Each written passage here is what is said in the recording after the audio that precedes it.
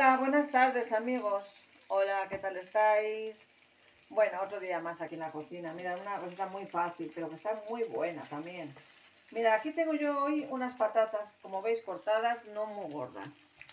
Y bueno, primero aquí en la sartén hemos puesto media cebolla, como veis aquí, media cebolla. Hemos puesto, mirad, como veis aquí, pimiento rojo y pimiento amarillo. Y con la cebolla lo he estado rehogando, el pimiento rojo y el pimiento amarillo, se ha estado rehogando. Y cuando ya estaba rehogado, pues he echado, mmm, mirad, las patatas a que se rehogaran todo junto. Y cuando estaban ya las patatas rehogadas, amigos, pues mirad, he echado la con. La con aquí ahumado. Hemos echado la sal y pimienta negra.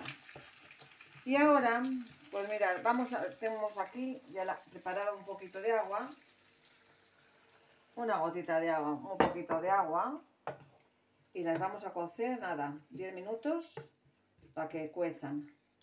Yo las hago así y bueno, también están muy buenas. Echamos otro poquito de pimienta negra a gustos, un poquito, como he echado antes, y echamos un poquito de sal, amigos. Y bueno, van a cocer no, según esté, vamos, 7, 8 minutos, ya sabéis, según cueza cada vitrocerámica. Yo cuando vea que la patata ya, porque está muy rehogada, cuando la patata está, esté ya bien, bien que esté ya cocida, pues ya lo quito. Y ya coge el sabor del lacón y de los pimientos. Y bueno, pues si queréis un día ver que tenéis prisa, pues es una comida pues rápida, amigos. Es de lo que se trata, ¿nos parece?